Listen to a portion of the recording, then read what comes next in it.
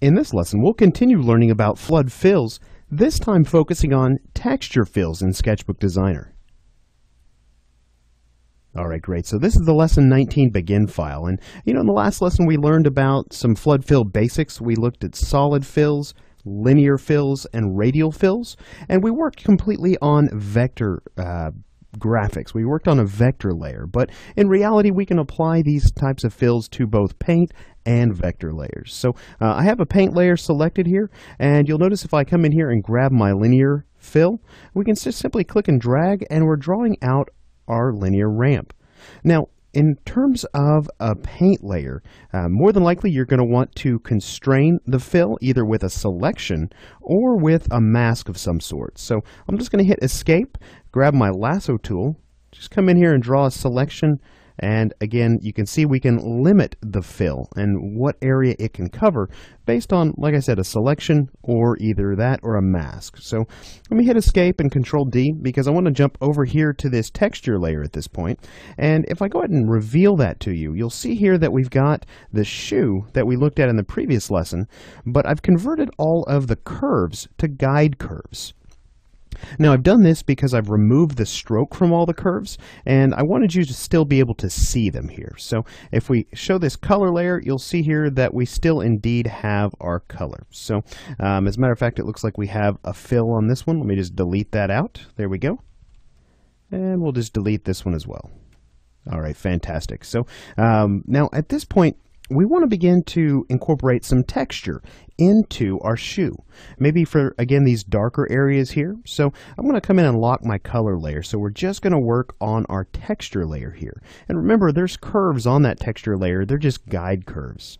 So let's come up here and grab our texture fill. Now, uh, with the texture fill, we're going to need to specify a texture that we want to fill with. And you can see here is the default texture that we're working with.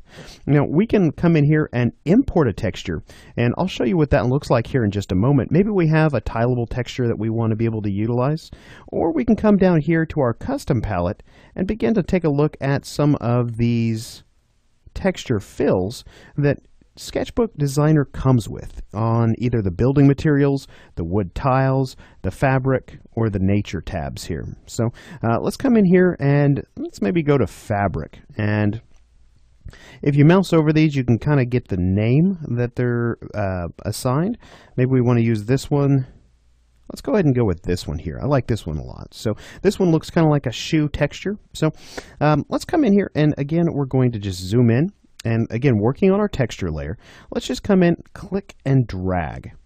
And what we're doing here is we're dragging out the fill manipulator. So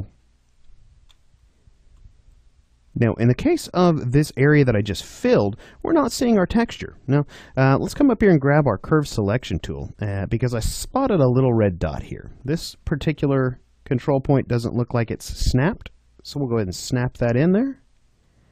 There we go. Let's go ahead and grab our texture fill again and click and drag. All right, great. There we go. Now we're able to fill that. So I'm going to delete that, jump back over here to this fabric that we were working with previously, and you can see I can click and I can drag out my texture fill. All right, great. So this particular fill has some nice striations to it that would maybe be fitting for this particular example, um, just in terms of kind of the stretching that happens in a shoe's fabric when a foot uh, has actually been wearing it. So uh, maybe we want these to run kind of in this, this linear fashion along the length of the shoe. So um, again, this is our manipulator here, so we can come in just like with the radial and the linear fills, and we can begin to kind of manipulate this texture. Now you'll notice over here in our attribute editor, we have several different options here. We have uh, the number of repeats that can be adjusted in both the U and the V, and we can also flip the texture in the U and the V. Now, we also have some additional settings here uh, that are related to substance textures, and we're going to learn about that here in just a moment. But um, these settings are going to be unique to this texture. You can see here things like luminosity, saturation. We can shift the hue. Uh, we can adjust the primary colors, uh, pattern, things that were created, all these settings that uh, were created for this texture in an application called Substance. So um, I'm going to come over here Again, we're going to just kind of morph this by grabbing these corners. We can come in here and add an additional control point to sort of stretch that down. Now you want to stay away from this pivot right here. This pivot will start to make your texture look a little strange. If you begin to kind of move it like that, you'll see that the texture is getting really bunched up over here, and it's much, much larger over here. So be really careful with this pivot. If that's not the look you're going for, you probably want to stay away from it.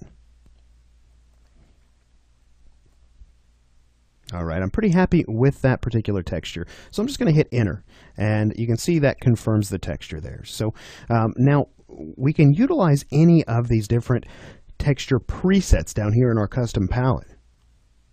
So I mentioned earlier that uh, Sketchbook Designer supports Substance textures.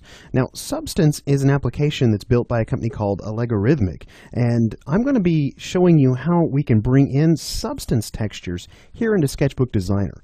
But the examples I'm going to show you, I'm not going to be able to include them in the project files because they were actually removed from the trial version of Substance Player. So uh, if you want to go to their website and download the trial of Substance Player, you'll have access to all these files that I'm about to use. So um, now we've utilized this sort of this canvas texture here, but um, let's come over here in our attribute editor and let's hit import.